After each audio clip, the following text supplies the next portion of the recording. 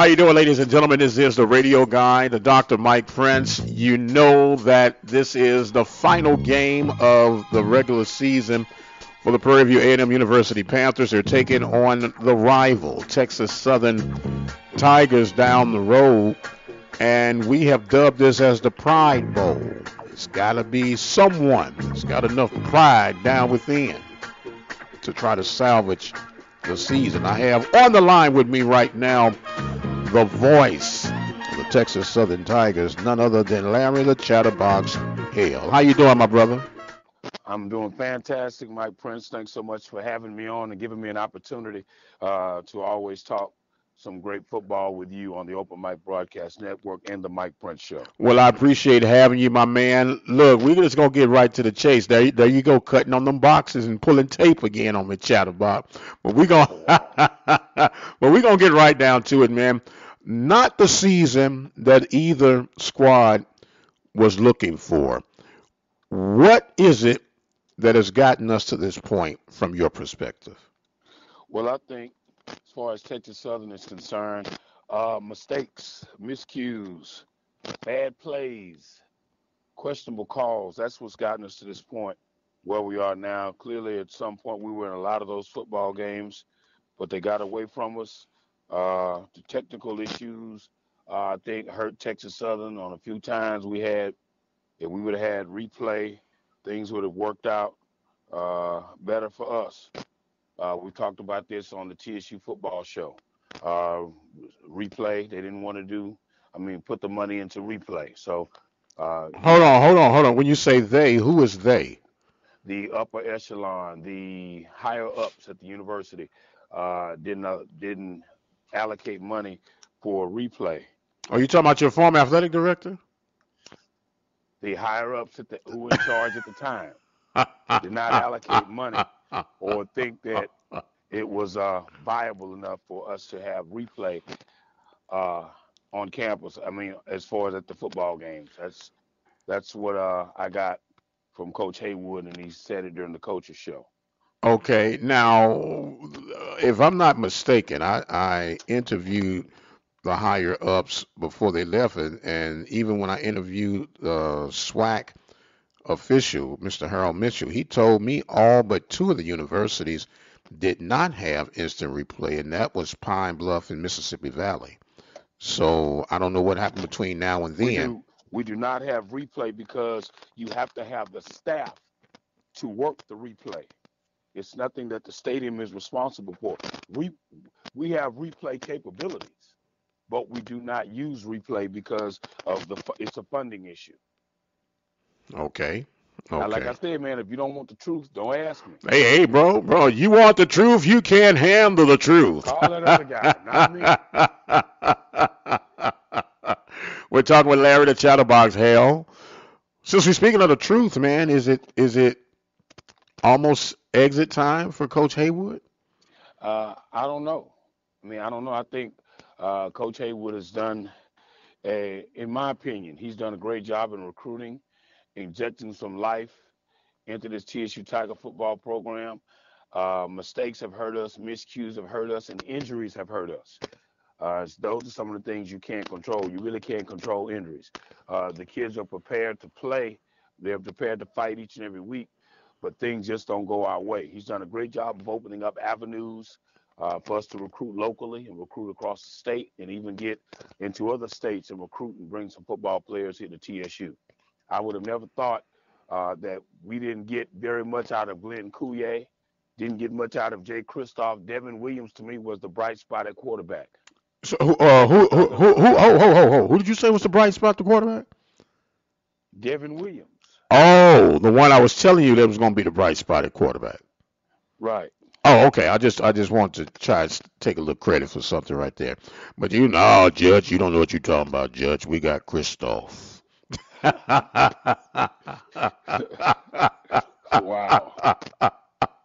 no, I had the pleasures of um, uh, calling uh, Devin Williams uh, an exceptional young man. And I told you, if given the opportunity, he would definitely uh, spring some life into uh, uh, Tiger Nation. Look, it's it's a lot of things on the line. That's why I'm calling this the Pride Bowl. Panthers, it seemed like they got good and ready to take on the Grambling State Tigers. And once they got past the Grambling State Tigers, they were no longer, um, I guess, in the hunt. I won't say in the hunt, but they were no longer active, it seems like. And it kind of dropped the ball when it came uh, to the Southern game and, of course, the Alcorn game, which got them in the shape that they're in right now. But right now, you don't need a motivational speech to take on Texas Southern, just like Texas Southern doesn't need a motivational speech to take on uh, Prairie View. What are going to be some of the key factors for the Tigers to have the victory this week? I think one of the things we're going to have to do, we're going to have to continue to rush uh, We've got to run the football at some point. And when you have a player like Bobby Hartzog who is out uh, for the rest of the season, you've got to be able to run the football. I know we ran the football last week. Brad Wood fumbled the football in a tough in a tough situation, but you have to run the football and you have to protect the quarterback. No matter who's back there, it could be Carol Burnett back there. If you don't have an offensive line to block, She's gonna be in trouble too. She's gonna be in trouble. It's time to say goodbye, huh? You, you got to be able to block. You got to get some uh, pressure on the quarterback for Prairie View. Eric Dooley is our offensive uh, mastermind. We know this coming to this football game with a defense uh, that can play football. You got. I think I, I, I'm interested in seeing the one-on-one matchups my defensive backs and that and that wide receiving corps for Prairie View A&M. Well, I'm thinking that in order for the Panthers to have some success, they're going to have to be able to stop the run. And they're going to have to establish the run because the receiving corps will just be running around there in shadow drills if you can't get the run established. So um, it's a lot on the line. And I got to be honest with you, Chatter. Um, um, I'm I remember speaking with you about this and I was one. I like having this thing at the Labor Day Classic in the first game of the season, and it seemed like both sides have gotten cute playing week zero, trying to get ready for that first game. But I think it adds a little bit more drama and meaning to have this thing at the Labor Day Classic versus where we are right now. What do you think?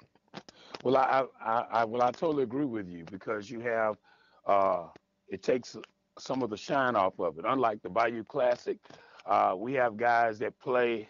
I mean, we have usually the old way, everyone would be through playing Thanksgiving weekend. They wouldn't have to worry about that. And our, everybody's season will be over, and that way Bayou Classic will be the marquee game. But I like Texas Southern and Prairie View in the very beginning of the season because everyone is healthy, everyone's excited, lots of expectations. Now it takes, even though it's a rivalry, it takes somewhat of the the significance of it. If it's at the end of the year, everyone's beat up, down, dragging, you know, and uh, I just think I like. I hope that they bring it back to the front part of the season instead of at the tail end. Well, it's going to be uh, starting back uh, this next season at the Labor Day Classic. But I tell you something too that I would like to see us get away from, but that's just me. I don't think neither one of them should play a week zero game. Just come in there out the gates and let let it go for broke, Judge. Let it go for broke. Let it go for broke, baby. You know, because that's that's your ride or die. That sets your tempo and, and get things going off. We, uh, Prairie View, Texas Southern sets the swag. Grambling Southern ends the swag. That's been a strong tradition for, for some long times. And there's no sense of tweaking and messing with it. Because when the ball's down, we know their money moves. But I believe that you're going to make just as much money uh, playing the Labor Day Classic as you would going to playing uh, the MEAC SWAC Challenge. That's just my opinion, though. Well, let me tell you, and also let me bring this to you. Last couple of times that we played, or was supposed to be playing during Labor Day weekend, we would always have to push it back anyway because of the weather. Yes, that's that. The weather hampered uh, hampered a lot of games. And that just goes to show you the significance of having an indoor stadium. You took you take the weather factor out of it. As far as the people getting there is one thing, but you take the weather factor out of it. If you have that game uh, at a, at a uh, in an indoor stadium. Now, I'm, I'm going to agree to disagree with you on that because football is an outdoor sport. Which can be played indoors. It can be, but it's not going. If it's raining, watch this. If it's bad weather and you can't get to the stadium, it doesn't matter if you're indoor or outdoor. Okay. Well, Prince, let me explain something to you. When we came down to Prairie View in your brand new spanking stadium, Yes, sir. it was 10, almost like seven or eight lightning delays. We didn't get out of it almost one o'clock in the morning. Okay. And that, and then that's when the Prairie View coaches started cheating and watching film, or they weren't supposed to watch film, and and and, and uh, you know things of that nature. Folks making burger runs. And Uh, I knew it was coming. It was just a matter of time. He was trying to be all diplomatic. That's what they did. That's what they did. Man, look here. And you had Look here. up to it. Look here, man. The only first of all, we don't even have a burger joint in the Prairie View city limits. Okay, number one. They were watching film. They were watching watching that. film. No, sir. They were watching You no film. You hadn't done anything. You hadn't done in the anything. broadcast booth. I saw them. You you you saw you saw him, huh? You were eyewitness. Walking to the restroom. You were. On one of the many trips to the restroom I could make because of the weather delay, and they were watching film in that room. Yes, sir. It was a seven-hour weather delay, and I and I'll give you credit for that. And and it sounded like to me that was just another excuse. I heard you in your introductory talking about bad plays. We didn't have replay and this, that, and the other, and all this, that, and the other. But you know what that sound like? That just sound like an excuse for poor execution. That's what it sounded like to me. But you know, I'm I'm I'm privy to my thoughts. You're privy to your thoughts. We're taking hamburger runs and looking at film, and I just say it was lack of execution. You the one that choked off the lead. Okay. it sounds like you're packing your boxes. You know, I, I, it sounds like you're wrapping up, packing some boxes. And I, you know what? I'm not gonna say that they're packing for your coach who might not have a job if he don't finish this job. But You're gonna be just fine. Get off, get off my head coach. Get- hey, keep your mouth off my coach, man. Keep your mouth off my coach. We're talking with Larry the Chatterbox Hale, the voice of the Texas Southern Tigers, uh, completing your 20th year now, right, Chatter? 19th season. 19th Hopes season, 20. going into 20, and we'll we'll uh, of course have to pick this thing back up on the hardwood. Life after Coach Mike Davis, I know he was very instrumental to the basketball success there, but you guys got a very more than qualified um, replacement in that Coach Jones. So I I know that that you're excited for this hardwood season. I'm very excited. Coach Netta Hayes Perry entering her fifth season. Johnny Jones entering his first season. Uh, we've dropped a few games, but the fact that they're starting to play together and get up and down the floor and learn the system, uh, we'll be just fine. Okay, you guys are going to be fine. And I, you know, as always, doesn't matter what the records are. When these teams get together, it is all about business. The Pride Bowl 2018 football season coming to a finale between Texas Southern and Prairie View. I know who you're pulling for. Give me what you think a final score is going to be, Chatter. I think Texas Southern's going to run away with this one and we'll win by 14. We'll be out of Prairie View with the with the sun still shining, baby. 14, 14 points, Chatter. Yes, 14 points. I know you don't believe that for real, man. The offensive machine will be turned loose. I, I know you don't believe that. I know you're the voice, and I know you got to keep an optimistic viewpoint of things. I don't have to do anything. It's what I do. It's what you. No, no one has a slingshot to my back to make anything positive.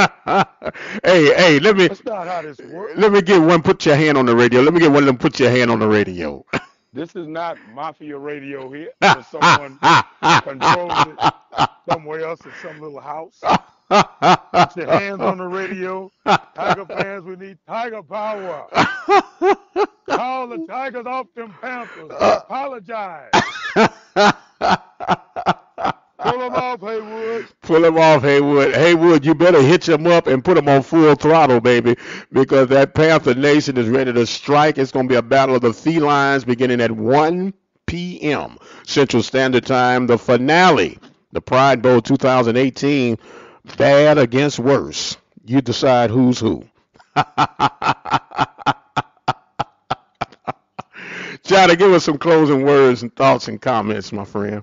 Well, I just want to uh, thank you for having me on, and let's continue to support uh, the Mike Prince Show, the true voice of uh, Panther Nation. Get the word out. I think you do a fantastic job of getting the word out, the message, no matter how rough uh, the or how tough the meat can be. Sometimes you always seem to serve it up uh, consistently. No matter how tough the meat is to to bite on, you still give them uh, great a great presentation.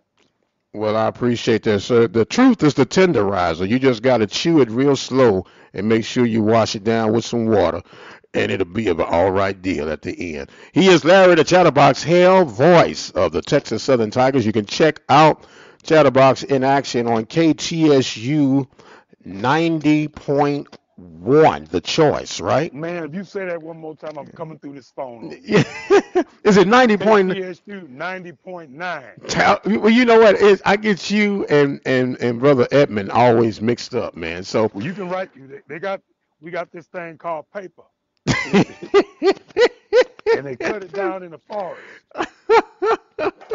and that forest is what you think. thinking if you think you're gonna win by 14. And before I do that, before I do that, Prairie View will rise, Prairie View will finish strong, and Prairie View will win by eight.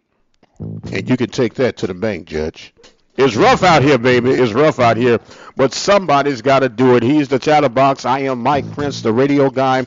As always, you know that you can follow me on Twitter, Instagram, and Facebook at The Mike Prince Show. The YouTube channel is Open Mic Broadcast Network. And of course, the website is obnradio.com. You hear Chatterbox packing those boxes for Coach Haywood in the background. I got to go exit stage left. Until the next time, you guys be blessed, and we'll see you on the other side. I'm going to have lunch with the ghost.